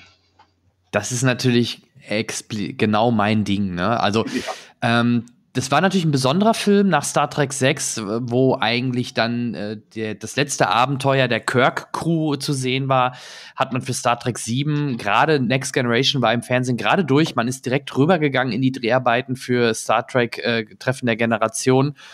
Ähm, hat man versucht, natürlich viele Originaldarsteller wieder zu gewinnen. Aber zum Beispiel Leonard Nimoy hat gesagt, nee, da mache ich nicht mit. Drehbuch passt mir nicht, äh, gefällt mir nicht, bin ich raus. Wen sie gewonnen haben, ist halt Kirk himself, William Shatner, Walter König als Chekhov und James Stone als Scotty. Ähm, Whoopi Goldberg spielt wieder mit ähm, als Geine, natürlich auf der Next Generation Seite. Und ja, wie, wie, wie kriegt man die beiden Generationen zusammen, die eigentlich doch noch mal, ich weiß nicht, ich glaube 80 Jahre auseinander liegen?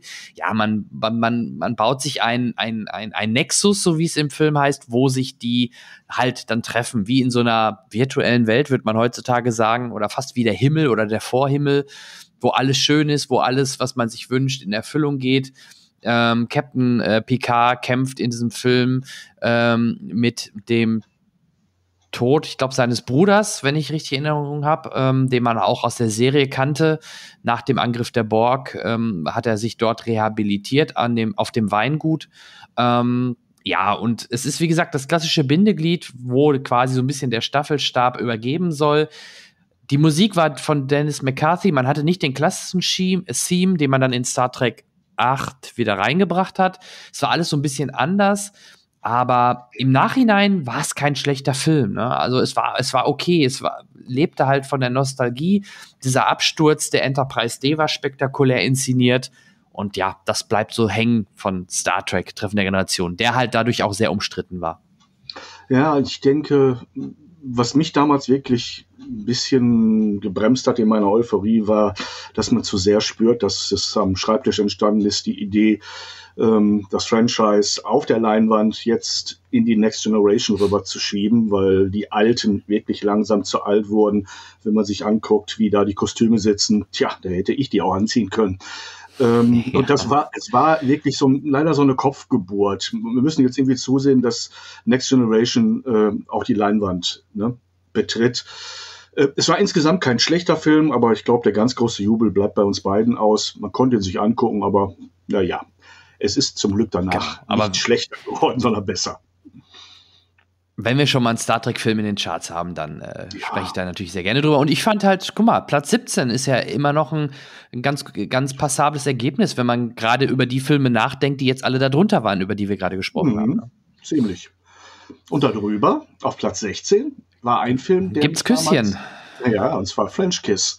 Und zwar mit zwei wunderbaren Darstellern, mit Kevin Klein und Meg Ryan die äh, ein ja, Liebespaar wider Willen. Also eine klassische Liebesgeschichte. Er spielt eine Franzose, sie eine Amerikanerin und äh, sie lernen sich kennen und äh, es ist so ein bisschen äh, Harry meets Sally und so weiter. Also diese ganzen Elemente drin. Ne? Zu der Zeit kommt man Mac Ryan eigentlich nur für eine Rolle ne, für die ja. das glubschäugige Bambi nehmen. Und da braucht man einen forschen, frechen, nehmen wir doch am besten, wie gesagt, einen Franzosen, der auch so ein bisschen kulturell auf einer anderen Linie fährt als Amerikaner. Ähm, lassen, lassen die beiden so ein bisschen ähm, Gegengepolten aneinander abprallen, aber die Reibungshitze führt sie dann zusammen. Es ist eigentlich immer das gleiche Rezept, aber da hat es für mich sehr, sehr gut funktioniert. Ich fand beide hervorragend, beide sehr charmant gespielt. Äh, drumherum passiert eigentlich nicht viel. Es geht nur um diesen kleinen Liebesplot. Der Rest ist dran geflanscht und ähm, immerhin Platz 16 und das schienen ja dann auch knapp zwei Millionen Zuschauer in Deutschland auch ganz nett gefunden zu haben. Ja, sie hatte wirklich so diese 10, 15 Jahre so. Ich sag mal von 96 Top Gun bis 98, äh, von 86 Top Gun bis 98 E-Mail für dich oder vielleicht noch Stadt der Engel. Das waren so, das war ihre Zeit. Alles, was danach und davor war, äh, war nicht so. Man sieht sie auch jetzt kaum noch, muss man gestehen. Ne? Ich glaube, sie ist auch recht aufgedunsen. Also Nein, Botox oder gedunsen. so. Da, da, da wurde rumgeschnippelt, es tut mir leid. Ja. Äh, das ist ein Beispiel dafür, dass äh, jemand in, in diesen Wahn reingetrieben wurde nach dem Motto, du musst deine, deine, deine äußere Form noch ein paar Jahre halten, um ein paar Produktionen äh, arbeiten zu dürfen. Ähm, es ging völlig nach hinten los und ähm, ich finde sie mittlerweile grotesk anzusehen. Schade, ja. wirklich schade drum. Ja. So, rutschen wir rauf? Gut. Genau. Buena Vista, wie es früher hieß, Disney bringt uns 101 Dalmatiner, Als wo jetzt hier auch gerade ein Trailer rauskam zu, der, zu dem Film Cruella mit ähm, ja. Emma. Äh, äh, Blunt. Nein, äh, nein, nein, nein, Emma, nein. Emma. Äh, ah, Hilf mir! Emma, Emma. Ich Mama. hab's gleich. Ich, ich cheate. Ja, bitte. Es ist Emma, es ist Emma Stone. Emma Stone, meine Zeit. Ich habe das Gesicht vor Augen. Ich habe selbst ja. das Kostüm vor Augen und auch diese wunderbare Schwarz-Weiß-Frisur, die man auf den ersten Fotos sieht. Ähm, ja, ich bin gespannt, ob äh, man das wieder aufleben kann. Die Geschichte scheint ja in jeder Generation im neuen Gewand ne, mit ein paar kleinen Änderungen zu funktionieren. Ist ja so ein bisschen die Vorgeschichte, wenn ich das richtig verstehe. Und in 101 Dalmatiner von 96, das war ja der Real oder die Realverfilmung, äh, übrigens auch Drehbuch äh, John Hutches oder Hughes. Mm, und Glenn Close in der Hauptrolle, äh, in der Hauptrolle. Glenn Close in der Hauptrolle als Cruella. So, so haben wir es. Genau, Cruella, Cruella de Vil, weil das sich so schön aussprechen lässt und geschrieben sieht man, dass es Devil da steht. Die böse, die teuflische. Nein, sie war klasse. Also da hat sie mir auch gut gefallen. Aber das war ja hier eine Wiederaufführung des äh, Zeichentrick-Klassikers, wenn ich mich recht entsinne. Ähm, Ach so, ist das ja, so? Woran ja. erkennst du das? Ich dachte, aber 96 kam auch der Realfilm. Kommt der nachher noch oder warum? Ja. Müsste man mal gucken. Wir sind ja noch gar nicht so weit. Schauen okay. wir doch mal. Okay. Gut. Dann rutschen wir jetzt auf die 15. Und da Epos. Epos, langer Film, breiter Film viel Pathos. Äh, Mel Gibson ist Regisseur und Hauptdarsteller in Braveheart. Er spielt den Freiheitskämpfer William Wallace, ne, eine schottische Legende. Und äh, er war noch ein ziemlicher Regie-Neuling zu der Zeit. Er hatte vorher einen kleinen Film gemacht, ich glaube, Der Mann ohne Gesicht. Und äh, war dann plötzlich im Oscar-Rennen. Ich weiß gar nicht, wie viele er bekommen hat oder wie viele er nominiert war. Es waren einige. Und äh, der Film hat uns doch beeindruckt und gleichzeitig abgeschreckt, denn er war natürlich auch in vielen Punkten sehr platt. Also da waren schon ein paar ähm, Szenen drin, als er als Hauptfigur, glaube ich, irgendjemand da aus seinem Turmfenster rausschmeißt, nur weil ihm dessen ne, Gesinnung nicht so wirklich passt. Ähm, und natürlich legendäre Szenen darin, wo er das Kilt lupft oder wo er die, seine, seine Mannen anfordert, äh, auffordert, in diese Schlacht zu ziehen, mit, mit, mit wirklich großen Worten. Also zumindest hat Mel Gibson verstanden, wie man so einen Film zu inszenieren hat. Und brutal war er auch. Also die Schlachtenszenen, da habe ich einige ja. Mal schlucken müssen. Da hat man wirklich, ich weiß gar nicht, ob man den nachher so noch in den Kinos zu sehen bekommen hat. Ähm, wir haben ja manchmal das äh, Privileg, vor dem letzten Schnitt die äh, Presseverführung zu sehen. Und da dachte ich mir, huiuiui, wenn die jetzt denken, sie müssten die Freigabe so tief wie möglich ansetzen, dann wird hier viel geschnitten an dem, was geschnitten wurde im Film, nämlich Arme und Beine und was weiß ich, was in diesen Schlachten alles abgehackt wurde und mit riesigen Fontänen da auf dem Feld lag. Also appetitlich war Hat ihm aber immer schon gut gefallen, ja hat ihm ja mhm. immer schon gut gefallen. Er hat ja auch ähm, äh, Passion Christi ne, ordentlich Blut fließen brutal. lassen. Also er hat, er hat so ein Faible dafür. Und man sagt ihm ja auch nach, er wäre jetzt privat nicht in jeder Beziehung der Feingeist. Kann ich aber auch nur so kolportieren, wie man es immer wieder mal hört. Ne? Ja, ja, ja. Bei Platz 14 bin ich raus. Ich habe ihn ne? nicht gesehen mit Judy Foster. Nee. Judy Foster spielt äh, eine junge Frau, die mehr oder weniger in der Einsamkeit lebt und so ein bisschen autistisch veranlagt ist und dann äh, mit der Zivilisation in Kontakt kommt. Und ähm, ich kann mich und wollte mich jetzt auch nicht wirklich auf jeden Film wieder bis ins Detail einlesen, aber ich kann mich, soweit ich mich erinnern kann, nur daran erinnern, dass es wirklich von, von ihr als Schauspielerin gelebt hat. Michael Apted, denke als Regisseur. Vermutlich, ja. Keine, keine unbekannte Nummer. Ähm, ähm, also sie, sie hat diesen, ja, das, das ist das, wofür auch, auch Julie Foster steht als Darstellerin und selber als Regisseurin, ähm, nämlich für, für menschliche Individuen, die sich nicht lückenlos in die Gesellschaft integrieren lassen, sondern durch ihre Besonderheiten immer irgendwie eine besondere Rolle auch einnehmen und dann mit der Gesellschaft in Konflikt geraten. Und das ist so eine par excellence Rolle für sie gewesen. Ähm, da hätte ich zum Beispiel nie vermutet, dass der bis auf Top 14 kommt, aber ich glaube, das lag wirklich dann auch an ihrem Namen.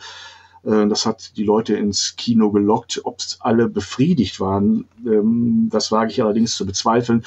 Es ist kein schlechter Film, wahrlich nicht, aber man kann ihn nicht in, die, in ein Genre packen und sagen, hoch, das ist jetzt, da kennen wir unsere Jodie ja wie damals im Schweigen der Lämmer oder da kennen wir unsere Jodie ja wie in ihrem, in ihrem ersten Film Das Wunderkind Tate oder da ist sie die taffe Forscherin aus äh, Sphery oder das ist so zwischen allen Stühlen und deshalb sehr mutig gewesen zu machen. Und es hat auch nicht den Anspruch, eigentlich Massenkino zu sein und trotzdem Platz 14.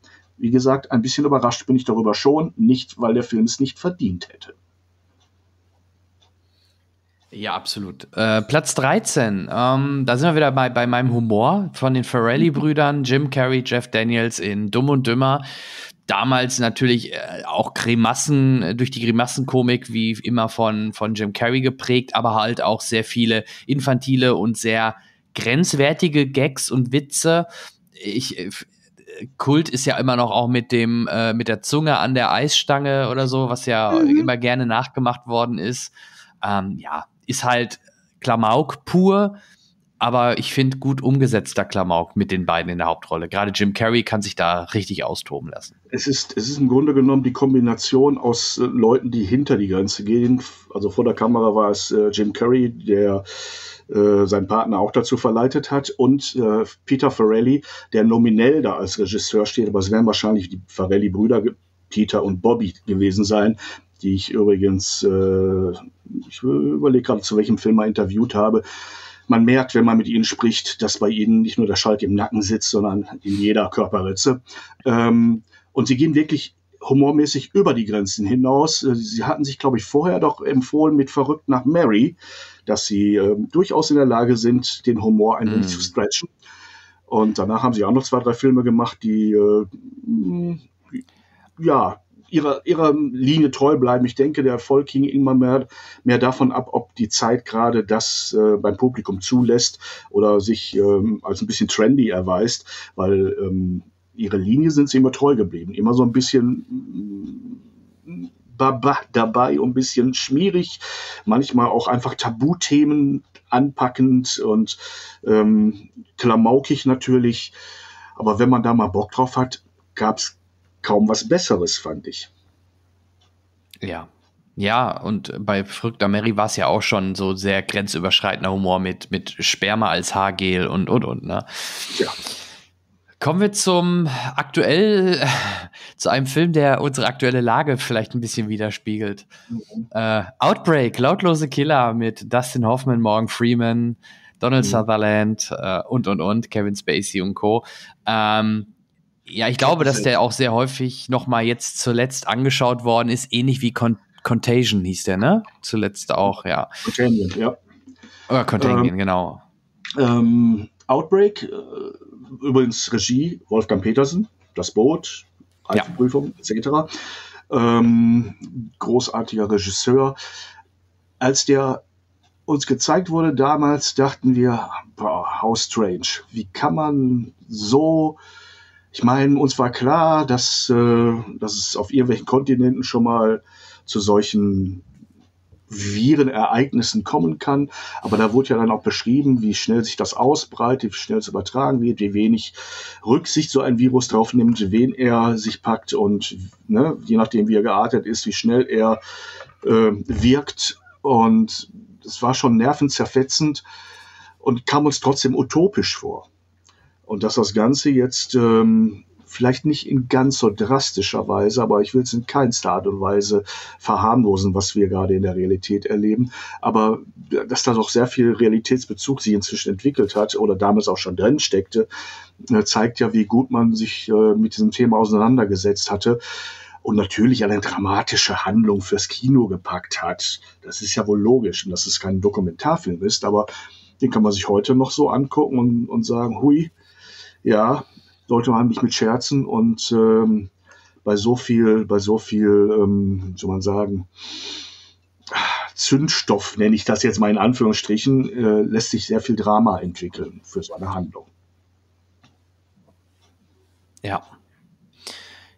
Apropos Drama, es gab noch ein Drama im Weltraum auf Platz 11, Apollo 13, Tom Hanks. Mhm äh, Ron Howard, Regie, äh, ich würde auch sagen, das ist heutzutage auch fast schon moderner Klassiker. Auch überraschenderweise nicht in der Top 10. Hätte man vielleicht auch nicht unbedingt vermutet.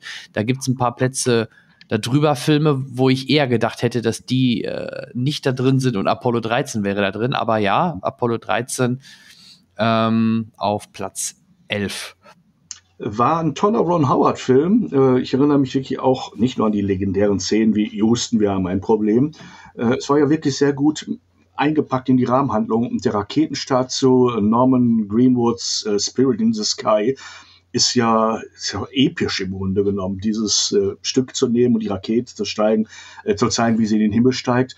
Es war übrigens der Film, bei dem wir äh, im Frühjahr, im kommenden Frühjahr danach sehr gezittert haben, ob äh, Tom Hanks seine dritte Oscar-Nominierung bekommt. Denn äh, davor hatte er für Philadelphia doch einen bekommen und dann für Forrest Gump einen bekommen und war damit sozusagen in der ewigen Bestenliste der Hauptdarsteller, die in Reihe Oscars bekommen, hatte er gleichgezogen mit Spencer Tracy und hätte, wenn er da nominiert worden wäre, oder vielleicht hat er die Nominierung auch bekommen, das weiß ich jetzt gar nicht mehr. Auf jeden Fall hat er die Statur nicht mit nach Hause genommen für diese Rolle. Äh, hätte er natürlich äh, alle Rekorde brechen können. Äh, wir haben es ihm so ein bisschen gegönnt, aber es wäre dann vielleicht doch ein Schlag zu viel gewesen für äh, einen sehr sympathischen Darsteller, der aber, wie ich finde, hm, schauspielerisch noch schlagbar ist. Es gibt ja Schauspieler, die fast nie was bekommen und trotzdem nach meiner Vorstellung ein Stückchen davor sind. Aber das ist sehr subjektiv. Genau. Ähm, Platz 10. Top 10. 7 auch ein Klassiker. Ne? Nach sieben kommt acht. Nee, nee, nach sieben kommt nicht acht, sondern Saw. Das war damals die Werbung für Saw. Und äh, ja, sieben geht in eine ähnliche Richtung, wird über die Tod Todsünden waren es, ne? Oder? Ja, Todsünden. die sieben Todsünden. Ja. Äh, genau. Regie David Fincher, der nach ja. seinem Debüt, kann man jetzt sagen, wenn es um große Filme geht, mit Alien 3, was ein Film war, den nicht alle geliebt haben, ich auch erstmal so gar nicht. Ähm, aber hier zeigte, was er drauf hat. Ähm, für mich ein absoluter Kracherfilm, weil ja. er ist ähm, für lange Zeit ja, stilprägend gewesen. Ich weiß nicht, wie viele Filme danach versucht haben, so, so diese, dieses Story-Konstrukt. Wir haben einen Serienmörder mit System, der sich an irgendwelchen religiösen Dingen orientiert oder so äh, und seine Serie durchzieht.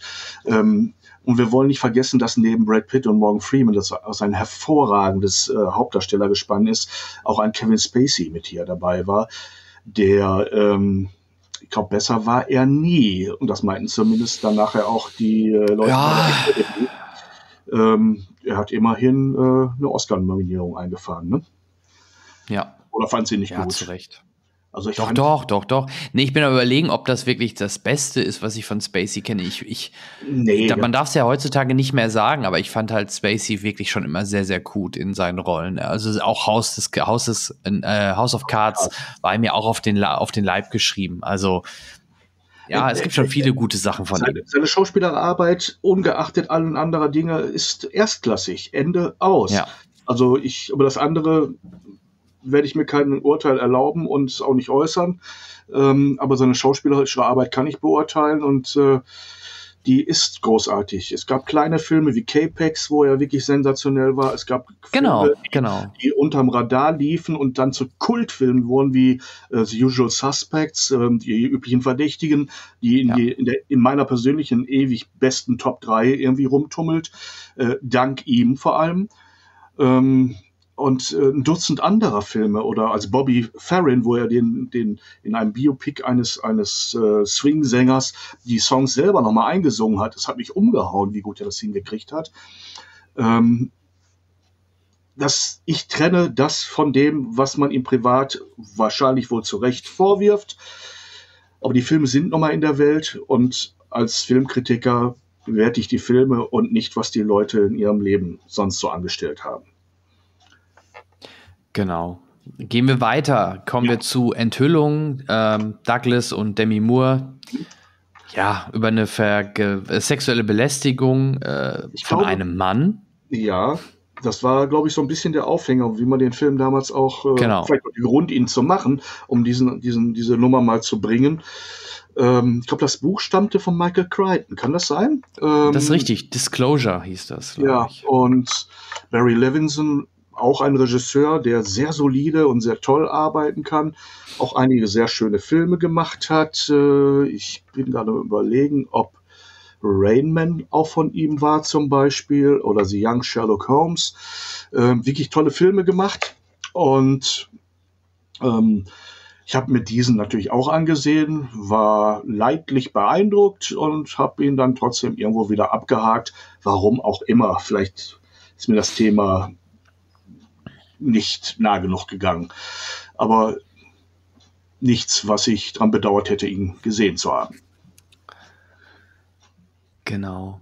Dann äh, kommen wir zu einem wirklichen Katastrophenfilm, obwohl ich ihn gar nicht so schlecht fand. Er ging ja auch an den deutschen Kassen, lief er ganz gut. Ich glaube, da hatte Kevin Costner immer noch seinen Bonus. Ähm, ja, wir sprechen natürlich von Waterworld, der damals einer der teuersten Filme aller Zeiten war und ich glaube aber auch an den Kassen nicht so erfolgreich war, also wirklich schon so ein kleine, kleiner Flop war. Ähm, aber in der Summe fand ich den, fand ich den eigentlich noch grundsolide. Ich fand die, die Szene auch, spiel, spielte ja fast alles nur auf Wasser. War schon ganz cool gemacht eigentlich für damalige Verhältnisse. Ja, es war natürlich der Versuch aus dem super Blockbuster-Regisseur Kevin Reynolds, der Robin Hood gemacht hat, und dem Robin Hood-Darsteller Kevin Costner äh, wieder eine goldspeiende Milchkuh zu stricken. Und Mhm. äh, der zweite Aspekt war, dass man äh, irgendwie vorher wohl nicht geahnt hat, dass ähm, Dreharbeiten auf dem Wasser manchmal sehr kostspielig sein können. Fragt mal bei James Cameron nach. Und äh, das Ganze soll ja bei der Produktion sich immer wieder durch irgendwelche Unwetter und Kulissen, die abgesoffen sind oder Tage, an denen man nicht drehen konnte und, und, und, äh, sollen die Produktionskosten ja explodiert sein. Und das war ja das Problem. Ja. Du versuchst ja mit so einem Produkt mehr Geld reinzuholen, als du ausgibst. Aber wenn du immer mehr ausgibst, bevor der erste, erste Cent zurückläuft, dann kriegst du ganz schwitzige Finger. Und dann gab es die ersten schlimmen Berichte darüber bei den Dreharbeiten schon. Und als man nachher wusste, wie viel man ausgegeben hatte, sah man komplett schwarz. Aber der Film ist dann weltweit nicht zu der Katastrophe geworden, die man angenommen hat. Und wir sehen, leidlich gelaufen, auch bei uns auf Platz eins. Das heißt, es wird unterm Strich kein Minusgeschäft gewesen sein. Und ich muss auch sagen, so schlecht fand ich ihn nicht. Immerhin war auch jemand wie ein Dennis Hopper zu einer sehr stereotypen Rolle als Bösewicht dabei, aber hat mir gut gefallen. Genau, genau. Gut, ähm, gehen wir mal einen weiter und kommen Ah. zu einem Film. Ja, Jetzt stellen wir jetzt der. mal nicht in die Ja? Rubrik deutsche Filme, im Gegenteil. Ne? Ja, genau. Es ist zwar unser Roland, aber ähm, ja, der hat natürlich auch äh, eine Menge mit sich gezogen. Überleg alleine mal, was durch Stargate dann an Serien gekommen ist mit Richard Dean Anderson im Anschluss. Ne? Also diese Da, und da gab es ja noch Spin-off-Serien. Also Stargate wurde ja fast schon so groß wie Star Trek eine Zeit lang. Ähm, und der erste Stargate-Film fand ich halt auch inszenatorisch und mit diesem Setting, gerade mit diesem ägyptischen Setting, halt auch eine coole Idee. Ja. Mhm. Es war der erste Hollywood-Film von unserem schwäbischen Spielberg, ne? Äh, Roland Emmerich. Und das erste Mal, dass er gezeigt hat, dass er weiß, wie gute Katastrophenunterhaltung, nein, Katastrophe gibt's ja dann nicht, aber große Unterhaltung funktioniert. Ich habe mich seiner Tage äh, mit ihm auch darüber unterhalten dürfen, weil man hat natürlich klar äh, uns diesen Regisseur, der damals noch unbekannt war, zum Interview angeboten und ich kannte, was er vorher gemacht hatte in Deutschland, diesen Moon 44 und äh, fand das sehr interessant und er erzählte mir, dass sein Projekt Stargate, was er jetzt äh, in Amerika verwirklichen kann, ähm, mhm. bei ihm schon seit Jahren in der Schublade lag und sich immer weiterentwickelt hatte und in Deutschland niemanden gefunden hatte, der sich daran getraut hatte, diese Story umzusetzen. In Deutschland war kein Produzent interessiert daran, äh, so eine rein fiktive, rein unterhaltungsmäßige Geschichte zu machen. Das hat er damals sehr sehr bedauert und sich sehr darüber bei mir beklagt, dass, dass eben, dass das, was er vorhat, in Deutschland nicht machbar ist und äh, allein deshalb äh, den starken Drang verspürt, seine Filme im äh, Ausland in den USA zu machen, weil er sagte, ja, da macht man die Filme, wie ich sie mir vorstelle. Und dann hat er sie ja auch gemacht. Ne? Hm. Ja, da kriegt er halt auch die Budgets, ne? Ja. die man für solche Filme braucht ja. Aber in den Zeiten, das ist das, was ich gerade bei dem, bei dem einen deutschen Film ja sagte, war man in Deutschland nicht bereit, irgendwas zu machen, was nicht einen pädagogischen Mehrwert hat. Ne? Also, äh, wobei der immer ja. eher lächerlich bis peinlich war, nutzt ja nichts, wenn man überall eine, eine verkorkste Beziehungsgeschichte noch mit reinbringt. Ähm, dadurch wird ein Film nicht wertvoller, sondern nur langweiliger. Hm. Aber so war das damals. Heute hat man sich da ein bisschen von gelöst, freundlicherweise. Genau. Mhm. Gehen wir auf Platz 6 und haben dort den dritten Teil der Stirb langsam Reihe. Jetzt erst recht. Ähm, diesmal hat man das Setting ja dort ein bisschen verändert. Man hatte nicht mehr typisch, äh, ich befinde mich in einem Wolkenkratzer oder ich befinde mich am Flughafen, sondern eigentlich, ich befinde mich in einer Stadt und mache dort ein Wettrennen mhm. äh, oder ein, ja, äh, ein, äh, ein Rennen oder wie auch immer. Ähm, Simon Says wie heißt das Spiel? Simon Says, genau. Simon, Simon sagt. Nein, in Amerika ist es wirklich äh, bekannt, äh, ja. so eine Art Aufgabenspielchen und man hat Jeremy Irons als fiesen Gegenspieler gewinnen können, der alleine, weil es ja viel über Sprache geht, immer wenn die telefoniert haben und so, und deshalb lohnt es sich, diesen Film im Original anzusehen. Das ist die Stimme von Scar aus äh, König der Löwen mit einem Irrsinnstimbre, der dann durch die Leitung die Aufgaben stellt, die sie zu erfüllen haben. Es war eben der erste Teil, wo die Ein-Mann-Armee John McLean sozusagen unfreiwillig einen Buddy bekam, nämlich Samuel L. Jackson, ähm, dem er äh, an den Hacken hing und das Ganze hat so ein bisschen das Konzept äh, verändert, aber nicht weniger gut gemacht, fand ich, oder? Nee, absolut. Ähm, fand ich wirklich sehr gut. Ähm, mich hat in der deutschen Version halt sogar, äh, oder was heißt sogar, mich hat in der deutschen Version gestört, dass der äh, nicht durch den Lehmann, Manfred Lehmann, äh, synchronisiert worden ist, sondern er dort eine andere Stimme hatte, weil Lehmann verhindert war, was ich im Nachhinein sehr schade finde. Da hätte ich mir auch sonst eine nachträgliche Neusynchronisation wirklich mal ausnahmsweise gewünscht, weil äh, Bruce Willis nicht mit seiner Stimme ist dann halt schon irgendwie komisch, ne, wenn man ihn in Deutsch guckt. Ähm, ich habe irgendwann mal gehört, dass Fans versucht haben, äh, eine Nachsynchronisation anzuleiern und ähm, Crowdfunding begonnen haben, um das zu bezahlen. Ich glaube, das ist entweder wieder eingeschlafen oder kommt demnächst. Also ich weiß nicht, wie es ja. weiter ist. Es war mal jemandem Rede, dass man dieses schöne Filmchen gerne so hätte, wie man es gewohnt ist, mit der Originalstimme von ähm, ne? alles, nur nicht Tiernahrung. Kommen wir zu einem äh, Familienfilm. Ich glaube, da brauchen wir gar nicht so viel drüber verlieren. Äh, Kaspar, die Verfilmung ähm, mit Bill Pullman in Hauptrolle. Ganz schönes Gimmick war der Auftritt von Dan Aykroyd als Geisterjäger. Äh, so eine kleine Reminiscence Richtung Ghostbys, äh, Ghostbusters, ne, weil er halt dort auch wirklich diese Rolle wieder spielt. Aber ansonsten, ja, nette Familienunterhaltung und man sieht ja, recht erfolgreich gewesen in diesem Jahr.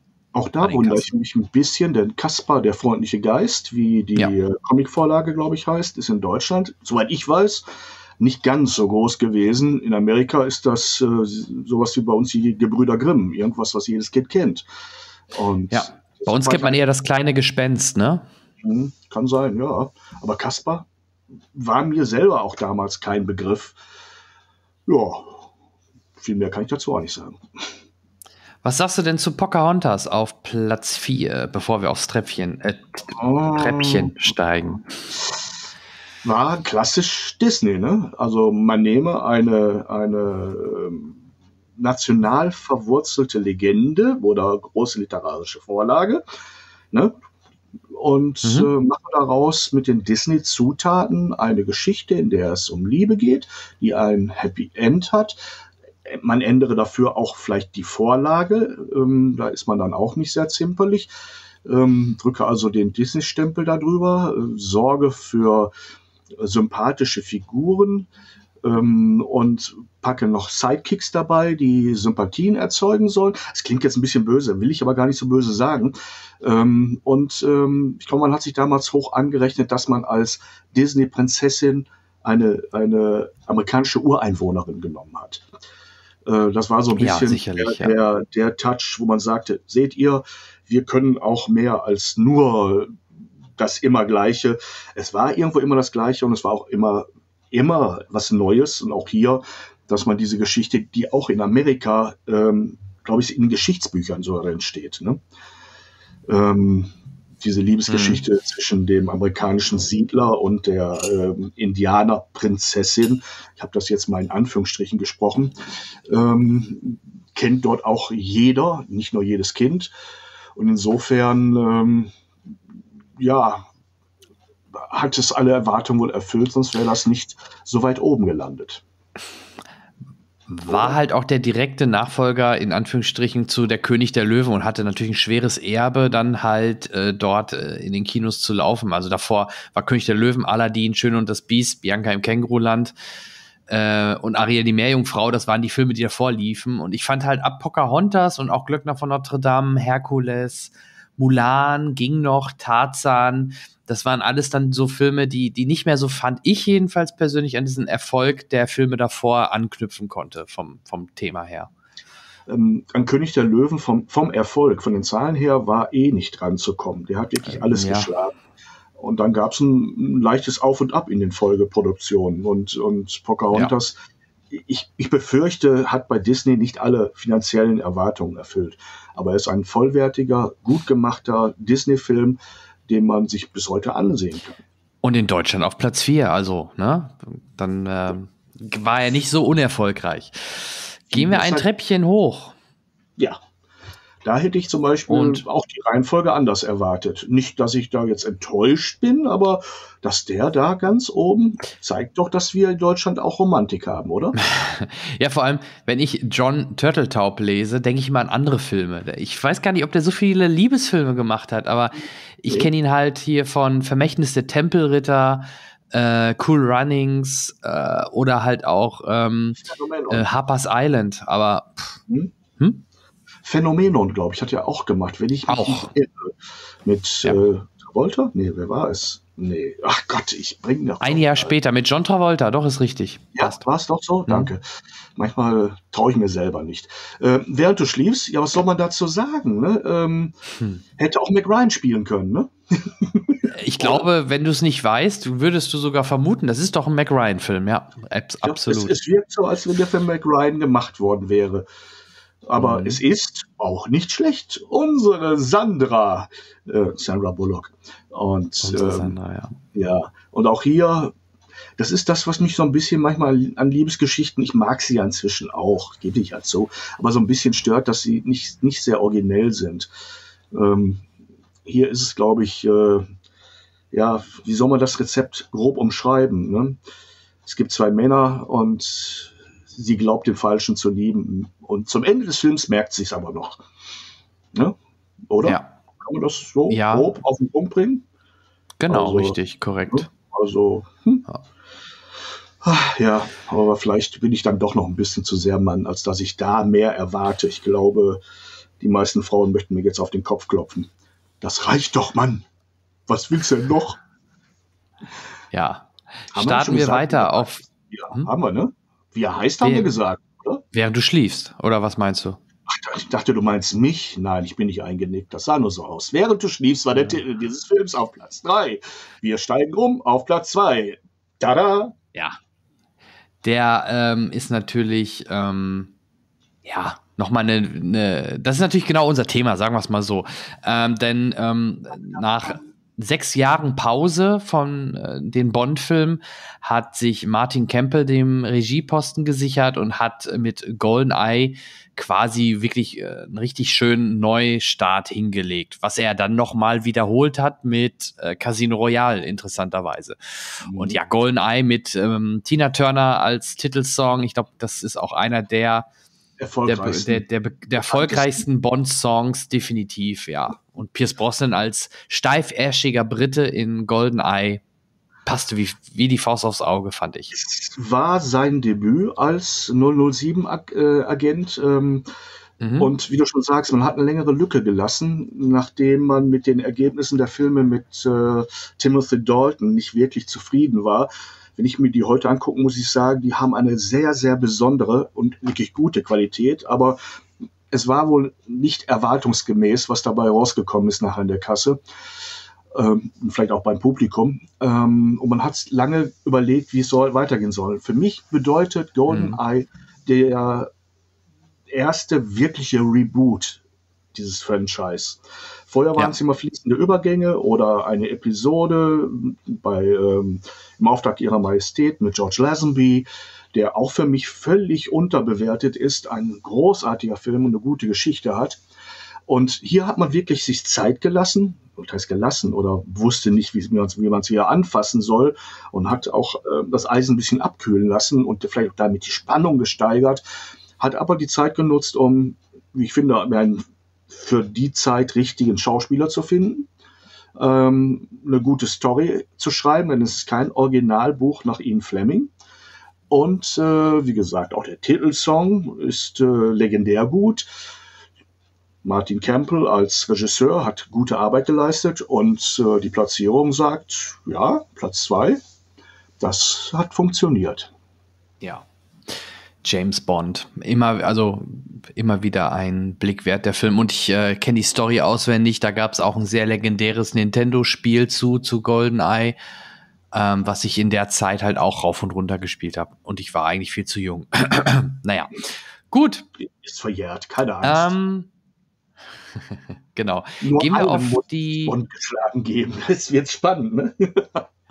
ja, und wer kann nicht, wer könnte nicht besser James Bond schlagen als ein kleines Schwein? Mhm. Und das recht, wenn es heißt. Ein Schweinchen genau. namens Babe. Was aber erstaunlicherweise, ähm, wenn du nochmal in die Charts reinschaust, auf Platz 1 mit nur, in Anführungsstrichen, 6 Millionen Besuchern. Ähm, ja. Ist, ich kann mich nicht dran erinnern, ähm, wann oder wie oder überhaupt. Heutzutage ist das doch eher, sagen wir mal, gutes Mittelfeld. Ja, total. Also vielleicht mal der Vergleich zum Vorjahr. Der König der Löwen hatte seine, hatte fast doppelt so viel. 11, ja, 11,3. Ja. War also kinomäßig jetzt nicht ein Brüllerjahr, also von der Gesamtzahl her. Und da konnte man dann mit nur, wieder in Anführungsstrichen, 6 Millionen Zuschauern die Spitze stürmen. Ich überlege gerade, was 1995 war. Hatten wir einen Jahrhundertsommer, haben wir Fußball-WM oder irgendwelche anderen Dinge, die die Leute woanders hingelockt haben? Soziologische Untersuchungen werden uns die Antwort geben, aber nicht in den nächsten zehn Minuten. Gut. Nee. Ist schon interessant, genau. Ich könnte es dir auch nicht sagen, aber es war einfach generell ein recht schwaches Jahr, warum auch immer, ja. Obwohl die Filme, wie wir ja gerade festgestellt haben, die Filme waren ja gar nicht so schlecht. Die, die meisten waren ja sogar recht gut ich fand die also durchaus, ich habe wieder Appetit gekriegt, mal einige aus dem Regal zu ziehen mir nochmal anzugucken. Viele davon stehen genau. ja bei mir hier dumm rum. Ich gehöre zu den alten Menschen, die sowas noch in Hardcopy zu Hause rumstehen haben. Mhm. Hm, ja. Du, ja. ich habe einen kleinen Vorschlag. In Anbetracht der Zeit da wir ja. jetzt auch schon die anderthalb Stunden voll haben, würde ich gerne mit dir einfach äh, in den nächsten Wochen nochmal äh, mich kurz schließen, dass wir dann das Jahr äh, 96 nachholen, weil wenn wir das jetzt ähm, noch machen, glaube, dann wird, wird das jetzt auch zeitlich ausufern. Da würden wir einige in den Tiefschlaf treiben bei aller Brisanz und allem Spaß, den wir dabei haben, wir sollten es nicht ja. übertreiben. Machen wir einen Zweiteiler. Was Harry Potter konnte, ne? Äh, warum sollen wir es nicht auch machen? Aber da war es ein Buch. Äh, wir haben ja immerhin äh, zwei, Jahre, zwei Jahre, also es ist eine saubere Trennung. Ich glaube, der Schnitt lässt sich nachvollziehen. Dann würde ich vorschlagen, vertrösten oder reizen wir unsere wohlgesonnenen Zuhörer damit, dass wir sagen, das Jahr 1996 mit all seinen Auswüchsen. Darüber unterhalten wir uns das nächste Mal. Wir hoffen. Genau. Also, da, da wir jetzt so, glaube ich, zum Ende kommen, ich nicht richtig verstanden habe. Es hat Ihnen ja. bis hierhin viel Spaß gemacht. Ähm, ja, ich glaube, ich mache jetzt Winke Winke. Freue mich darauf, jetzt auch noch ein paar Minuten selber an die frische Luft zu kommen. Und ähm, ja freue mich vor allem dann auf unseren 96er-Ritt. So machen wir es. Und wie Schweinchen Babes sagen würde, la la la, la la la, la la la la la. Ja. Gut, in diesem Sinne, äh, Peter, dir alles Gute. Vielen lieben Dank. Es hat mir wieder viel Freude gemacht. Auch jetzt hier mit diesem Experiment mit dem Bild fand ich das ganz nett. Ähm, ja, viel Erfolg beim Umzug. Wann ist es soweit? Steht noch alles auf der Kippe, aber es gibt so viel bei einem hm. Sammler einzupacken, du ahnst es nicht. Ja. Ich verfluche mich gerade selber und wenn ich es auspacke, werde ich Stunden des Glücks erleben. Ich bedanke mich bei allen, die zugehört haben. Hoffe, ihr seid das nächste Mal auch dabei. Ich bedanke mich ganz herzlich bei dir, Jan. Es war wunderschön, mal wieder dein Gast sein zu dürfen und äh, freue mich, wie gesagt, aufs nächste Mal. Und von mir schon mal Tschüss. Genau. Auch von mir vielen lieben Dank, Peter, für deine Expertise. Es war mir eine Ehre und eine Freude. Euch, liebe Hörer, einen wunderschönen März. Ähm, genießt vielleicht die ersten Sonnenstrahlen draußen. Ansonsten hoffen wir, dass die Kinos bald aufmachen. Sonst guckt halt, was die Streaming-Anbieter hergeben. Da kommen ja auch einige neue Sachen und wir hören uns dann in Kürze wieder. Bis dann. Tschüss.